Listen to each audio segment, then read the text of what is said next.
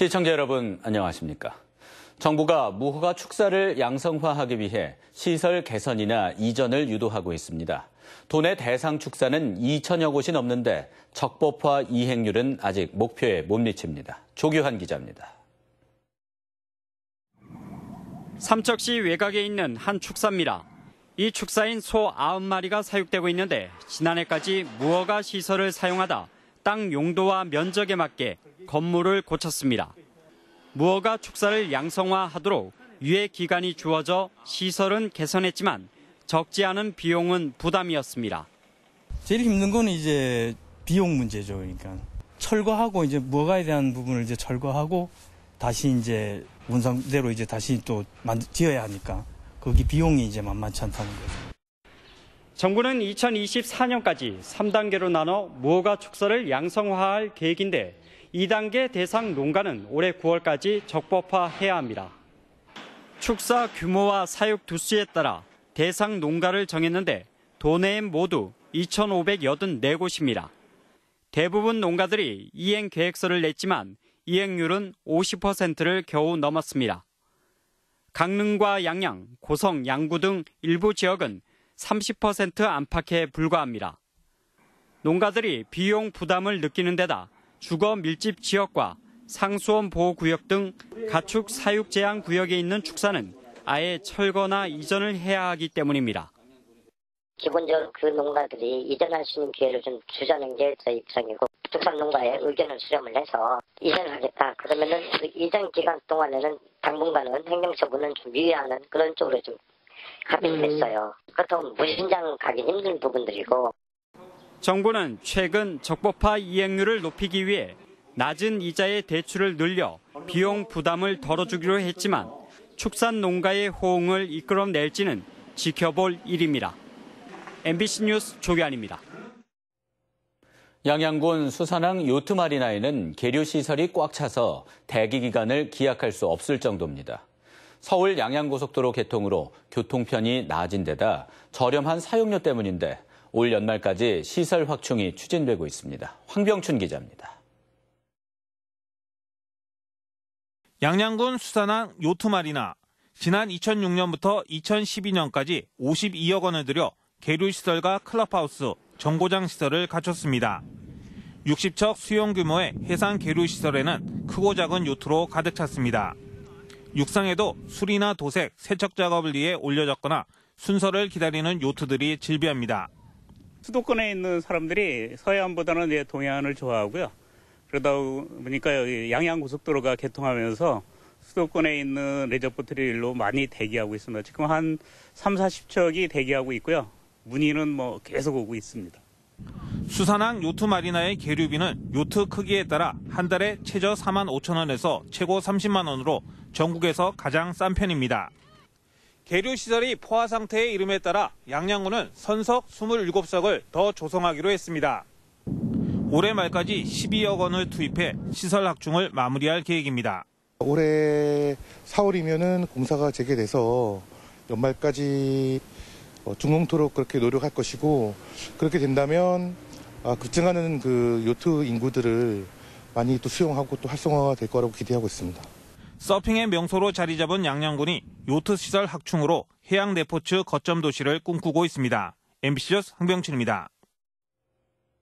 앞으로 강원 상품권을 구매할 때 혜택이 확대되고 협의 절차도 간편해집니다. 강원도는 강원 상품권 유통 활성화를 위해 강원 상품권 발행 및 운영 조례 시행 규칙 일부 개정안을 입법 예고하고 다음 달 13일까지 의견을 수렴하기로 했습니다.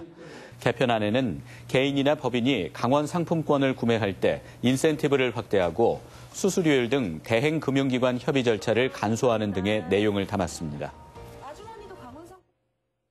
양양공항을 모기지로 하는 플라이 강원이 이르면 다음 주 국토교통부에 운항 증명서 발급을 신청할 계획입니다.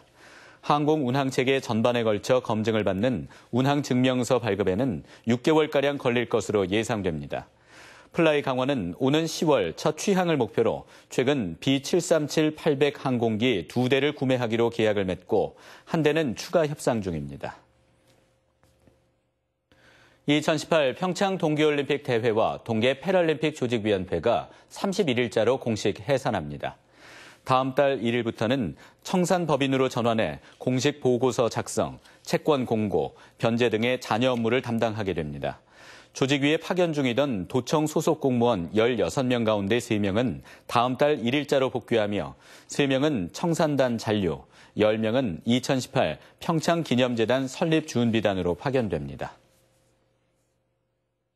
2018 평창 동계올림픽과 패럴림픽 성공 개최 유공자에 대한 강원도의 추천 작업이 지연되고 있습니다. 정부는 평창올림픽 유공자 정부 포상 추천자로 공무원 123명을 포함해 모두 374명을 강원도에 배정 통보했습니다. 강원도는 자체 수요조사에서 670명을 대상자로 뽑았는데 대폭 줄어든 숫자에 불만을 드러내고 있습니다. 강원도 관계자는 전체 포상 대상자가 아직 확정되지 않은 만큼 행정안전부에 포상 규모 확대를 계속 요구하고 있습니다. 강원도는 4월 둘째 주는 가야 상훈 대상자의 구체적인 명단이 정리될 것이라고 밝혔습니다. 오늘 오전 10시 반쯤 홍천군 서석면 수하리 서울 양양고속도로 양양 방면 서석터널 안에서 오중 추돌 사고가 발생했습니다. 이 사고로 61살 최모 씨 등 6명이 다쳐 병원으로 옮겨졌습니다. 경찰은 터널 안에서 차들이 속도를 줄이지 못해 사고가 난 것으로 보고 정확한 사고 원인을 조사하고 있습니다. 강원FC가 춘천 홈에서 올 시즌 첫 연승에 도전합니다. 강원 도민 프로축구단 강원FC는 내일 오후 2시 춘천 송암 스포츠타운 주 경기장에서 성남FC와 하나원큐 K리그1 4라운드 경기를 치릅니다. 강원FC는 3라운드까지 1승 1무 1패를 기록해 리그 7위에 올라 있습니다. 강원은 성남과의 최근 10경기에서 4승 2무 4패 호각세를 보이고 있습니다. 임대아파트 건설을 목적으로 설립된 협동조합 조합원 가입에 각별히 주의하셔야겠습니다. 원주시는 최근 일부 협동조합의 경우 아파트 건설 부지를 확보하지 않았거나 지형과 도로 등 기반 시설이 열악해 건설이 힘든 여건임에도 불구하고 아파트를 당장 건설할 것처럼 홍보관을 설치해 조합원을 모집하는 사례가 있다고 밝혔습니다. 또 조합 탈퇴를 원할 경우 출자금 환급을 거부하는 등 금전적 피해가 발생하고 있다며 조합 가입 전에 사업 가능 여부를 확인할 것을 당부했습니다.